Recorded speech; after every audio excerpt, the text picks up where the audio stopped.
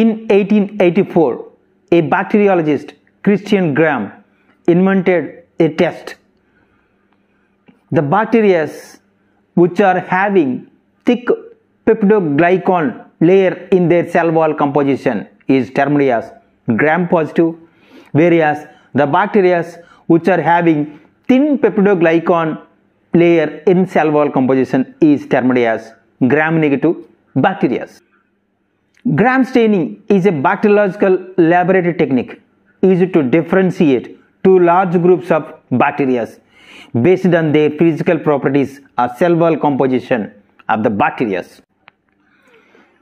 Gram positive and gram negative bacteria stain differently because of fundamental structure of their cell wall composition. What is the fundamental structure differences? For example, if you take gram positive bacteria, the cell wall composition comprises 60 to 90 percent of peptidoglycan membrane. Peptidoglycan is nothing but a protein and sugar component and less amount of lipids. Whereas gram negative bacteria, the cell wall comprises phospholipids 20% only the peptidoglycan and rest all comprises the phospholipids. So that is why in gram positive bacteria thicker the layer of peptidoglycan membrane whereas gram negative bacteria thin layer of peptidoglycan membrane. That is why during the staining process the gram positive bacteria retain the primary stain whereas the gram negative retains the counter stain loses the primary stain crystal violet. Four reagents used in gram staining process. Reagent 1 crystal violet and the reagent 2 grams iodine which act as a mordant and reagent 3 alcohol alcohol act as a decolorizing agent like acetate with ethanol 50% this one and ethanol 50% or 95% of alcohol we can use as a decolorizing agent. And the fourth reagent is safranin which is act as a counter stain. Before starting the staining process we have to fix the microbial bacterial smear on the surface dried slide. How to fix the smear take a clean dry slide pick the suspected colonies with the help of Henle's loop and emulsify on the surface of the slide with the help of saline solution.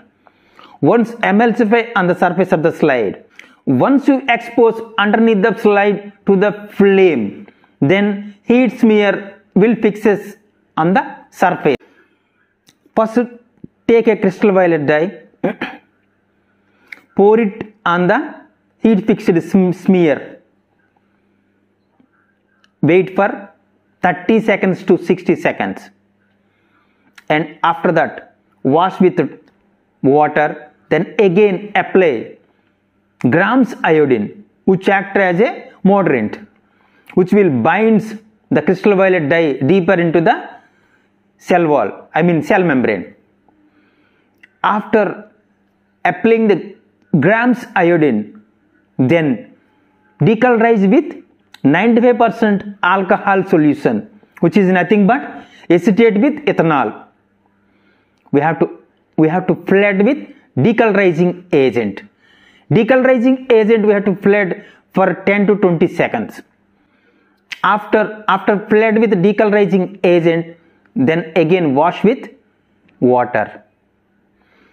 Then finally apply the counter stain safranin after flood with decolorizing agent or 95% alcohol if the cells still retains crystal violet purple or blue color then the cells comes under gram positive bacteria.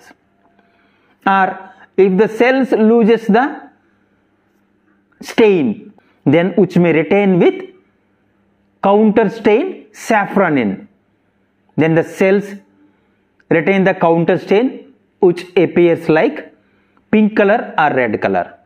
This is how we can differentiate from gram positive to gram negative bacteria. It's a simple laboratory technique to distinguish gram positive, gram negative bacteria. Examples of gram positive bacteria are Listeria monocytogenes, Staphylococcus, etc. And examples of gram negative bacteria Salmonella, Vibrio cholerae, Escherichia coli, Pseudomonas and Shigella. That's all about the video friends. If you like the video, click the bell icon and subscribe my channel for regular updates. Thank you and bye bye.